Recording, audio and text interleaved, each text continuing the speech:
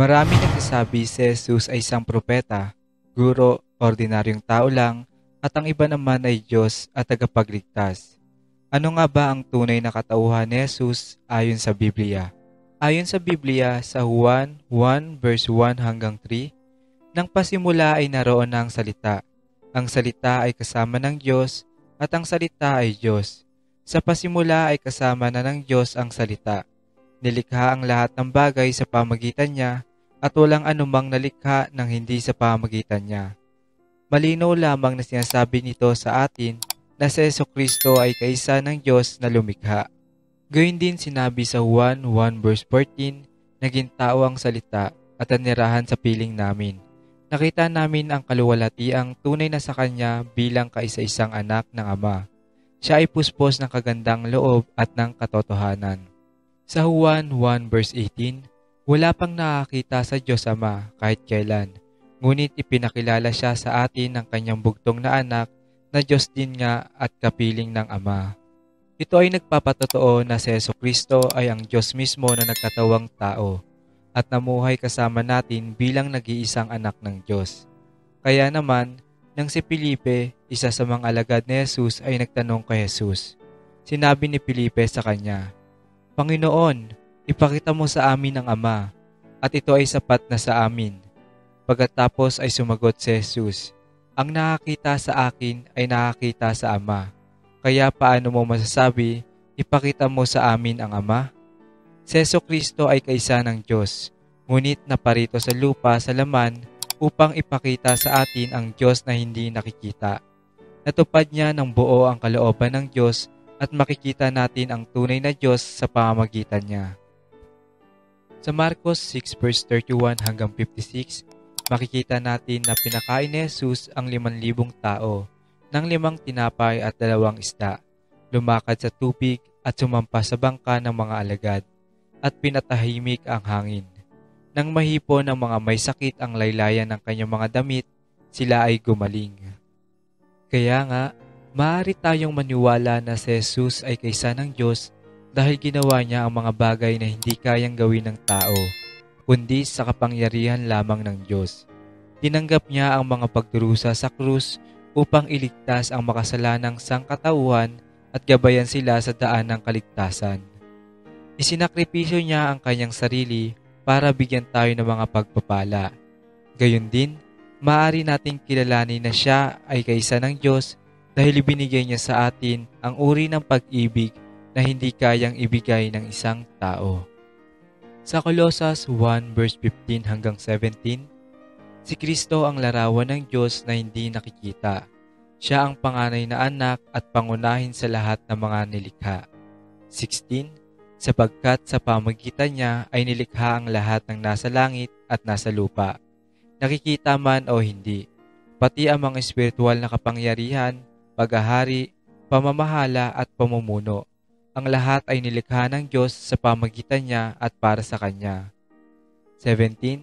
Siya ang una sa lahat at ang buong sansinukob ay nanatiling nasa kayusan sa pamagitan niya. Gayun din, Si Yeso Kristo na kaisa ng Diyos ay naparito sa lupa sa laman upang magpatotoo sa di nakikitang Diyos. Siya ang nagintaan para malaman natin ang kapangyarihan at pag-ibig ng Diyos hindi lamang sa pamagitan ng salita ng Diyos kundi sa pamagitan din ng kanyang buhay mismo. Pangalawa, sino si Yeso Kristo? Si Yeso Kristo ang tagapagligtas. Inilalarawan ng Mateo 16 verse 13 hanggang 16 ang isang eksena kung saan nagtanong si Jesus sa kanyang mga disipulo. Tinanong niya, ano ang sabi ng mga tao kung sino ako? Pagkatapos sumagot sila, may nagsabi na si Juan Bautista, ang iba naman ay si Elias, at ang iba naman ay si Jeremias o isa sa mga propeta. Ngayon, tinanong sila ni Jesus, Ngunit para sa inyo, sino ako? Sumagot si Simon Pedro, Ikaw ang Kristo, ang anak ng Diyos na buhay.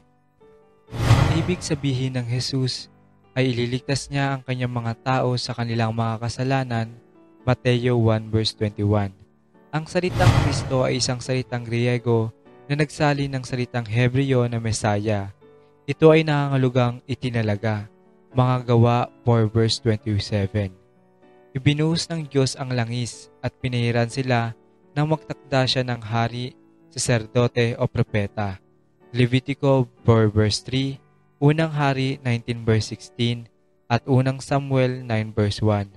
Ang langis ay kumakatawan sa banal na espiritu at iyon ang dahilan kung bakit ibinuhos ng Diyos ang langis sa mga itinalaga niya. Sa makatwid, hinirang ng Diyos si Kristo bilang hari, saserdote at propeta bago nagsimulang iligtas ang lahat ng sangkatauhan na makasalanan. Si Jesus ay naparito sa lupa bilang anak ng Diyos at naging tagapagligtas bilang Kristo na may pagtatalaga ng Diyos.